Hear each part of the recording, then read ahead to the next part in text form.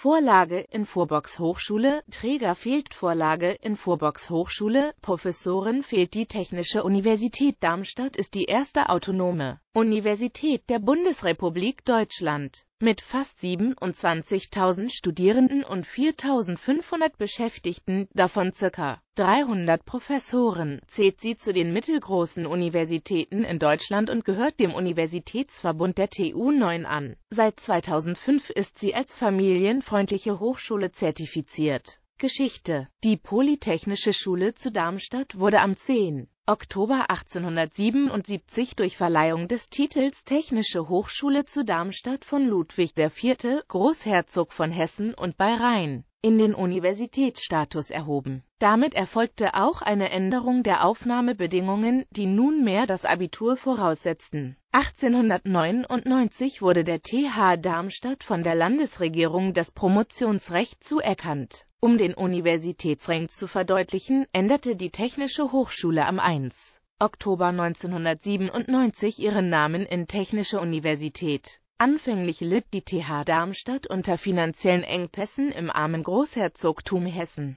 so dass nach 1876 bereits 1881 1882 ein weiteres Mal über eine Schließung im Hessischen Landtag debattiert wurde. Durch den Einsatz einiger Persönlichkeiten im Umfeld der Hochschule sowie durch die Verantwortlichen der TH selbst gelang deren Rettung. Die Hochschule und die Regierung wagten einen Schritt nach vorne und gründeten 1882 die weltweit erste Fakultät für Elektrotechnik den heutigen Fachbereich Elektrotechnik und Informationstechnik. Ihr erster Professor wurde Erasmus Kittler, der 1883 den ersten Studiengang für Elektrotechnik überhaupt einrichtete. Die dadurch ansteigende Zahl der Studierenden verhinderte die beabsichtigte Schließung. Als weitere Studienfächer kamen Papieringenieurswesen und die Luftschifffahrt und Flugtechnik hinzu 1895 wurde das neue Hauptgebäude durch den damaligen Rektor, den Geologen Karl Georg Richard Lepsius eingeweiht. Insbesondere der Studiengang Elektrotechnik zog viele ausländische Studenten, im Wesentlichen aus Osteuropa, an. So waren 1906 knapp 75 Prozent aller Studenten der Elektrotechnik ausländische Studenten. Anfang des 20. Jahrhunderts kam es zu einer weiteren baulichen Erweiterung der TH. So entstand 1904 der sogenannte Pützer Turm gegenüber dem Hauptgebäude.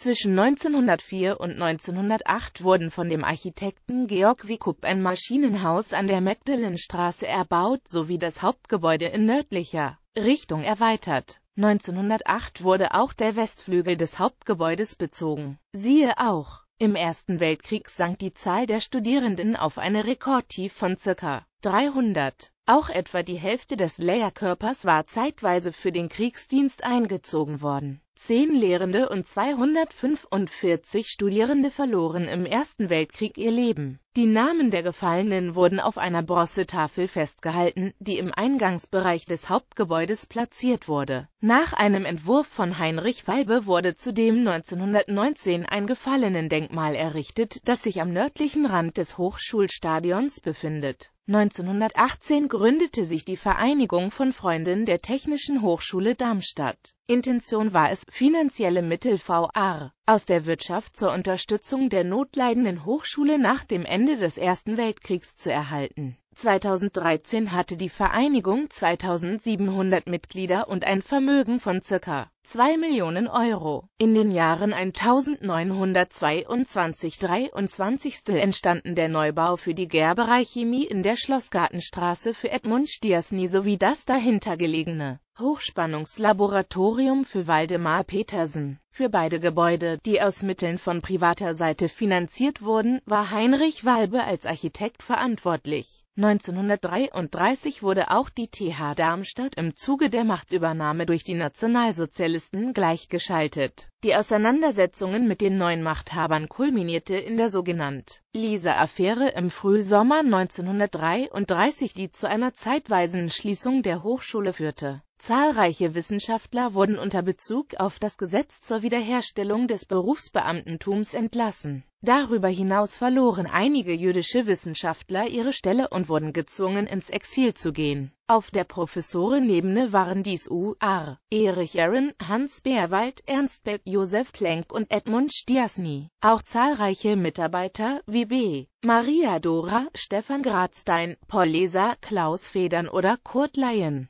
wurden aus rassischen Gründen oder unter Hinweis auf ihren jüdischen Glauben aus der Hochschule gedrängt. Auch der mit einer Jüdin verheiratete Gerhard Herzberg, dem 1971 der Nobelpreis für Chemie verliehen wurde, verließ deswegen die TH Darmstadt. In der Nacht vom 11.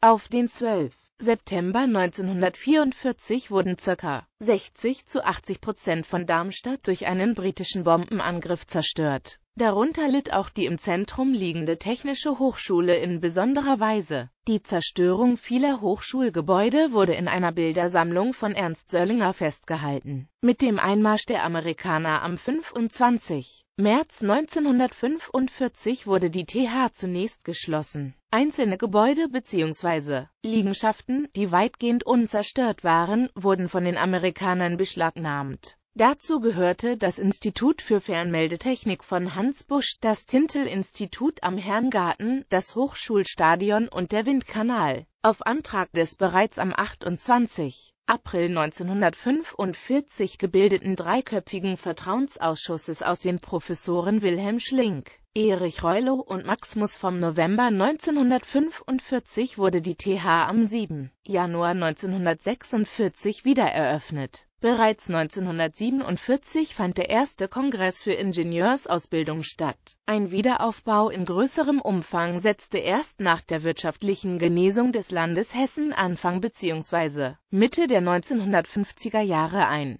Organisatorische Voraussetzung für den Wiederaufbau war die Schaffung des staatlichen Hochschulbauamtes im Juli 1949. Erster Leiter des Amtes wurde auf Vorschlag des Kultusministeriums Herbert Rimpel, der bereits 1949 verschiedene Wiederaufbauvarianten vorschlug. Christoph Müller bis 1951 und Friedrich Holz haben danach an der Wiedererrichtung der Hochschulgebäude einen maßgeblichen Anteil Friedrich Holz leitete das Amt bis zu seinem Ruhestand 1963. Erste äußere Anzeichen des Wiederaufbaus waren die Sanierung der Otto-Berndt-Halle 1959-52. mit MCC-Leumitteln, der Bau des Deutschen Kunststoffinstitutes 1954-55. mit Mitteln aus der Privatwirtschaft, der Bau der Stöferle-Halle 1954 der Große Physikhörsaal 1958 sowie der Bau der ersten Institute des Bauingenieurwesens ab 1955 durch Theo Pepst und Günter Koch auf dem ehemaligen Altstadtgelände östlich des Schlosses. Zu diesen Gebäuden gehörte auch die 1954 55. errichtete Wasserbauhalle von Ernst Neufert seit den 1960er Jahren VR, aber in den 1970er Jahren wurde, gefördert durch ständig steigende Studentenzahlen, der Ausbau der Wissenschaftseinrichtungen an verschiedenen Standorten, die seit dem 1. Oktober 1997 den Namen Technische Universität Darmstadt trägt, weiter vorangetrieben. Seit dem 1. Januar 2005 ist die TU Darmstadt als erste deutsche Universität weitgehend autonom. Es werden seither neue Entscheidungsstrukturen erprobt. A. Kann die Hochschule den Haushalt und die Liegenschaften selbst verwalten und selbstständig mit Professoren über ihr Gehalt und ihre Ausstattung verhandeln und sie ernennen. 2010 erhielt die Technische Universität zudem die Dienstherreneigenschaft und die Arbeitgeberfunktion Seitdem werden die Tarifverhandlungen für die Beschäftigten von der TU selbst geführt und nicht mehr vom Land Hessen.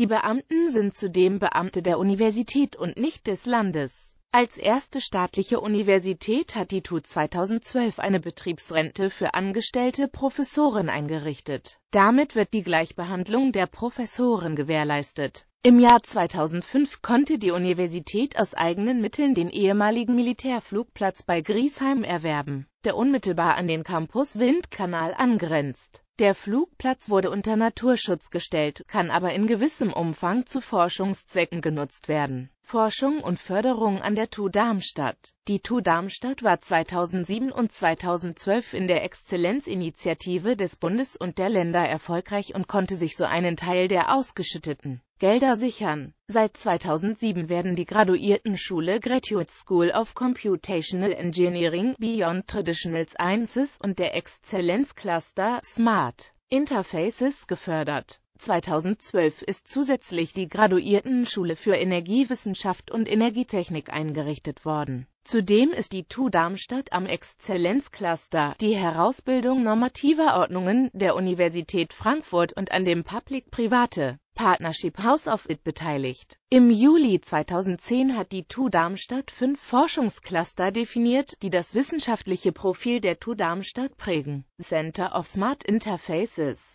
Thermofluiddynamik und Verbrennungstechnologie, moderne Materialien und Werkstoffe, Teilchenstrahlen und Materie, integrierte Produkt- und Produktionstechnologie, Future Internet. Forschungscluster versteht die TU Darmstadt als umfassende wissenschaftliche Netzwerke, die eine hohe nationale und internationale Sichtbarkeit aufweisen. Darüber hinaus hat sie drei Forschungsschwerpunkte eingerichtet: Adaptronik Computational Engineering, Stadtforschung. Unter Forschungsschwerpunkten werden abgestimmte wissenschaftliche Verbundaktivitäten verstanden, die im wissenschaftlichen Profil der TU Darmstadt deutlich sichtbar sind